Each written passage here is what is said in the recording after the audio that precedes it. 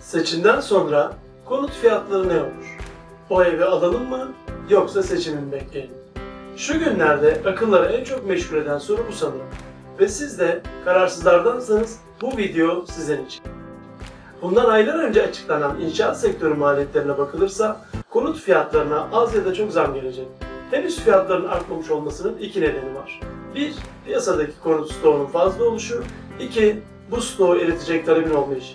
Şu günlerde devletin doping diyebileceğimiz müdahalesiyle alıcılar da motive ediliyor. Özellikle kamu bankaları oldukça uygun koşullarda kredi kullandırmakta.